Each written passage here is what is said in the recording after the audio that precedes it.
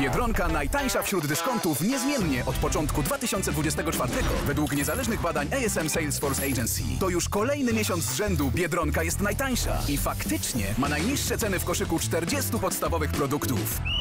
Niebiesko-żółci, będąc na przedostatnim miejscu w rankingu, ponownie zasługują na czerwoną kartkę. Ich koszyk w maju był prawie 30% droższy od koszyka Biedronki. A jedyna czerwona kartka w Biedronce to karta Moja Biedronka, z którą klienci mają zawsze bezkonkurencyjne ceny.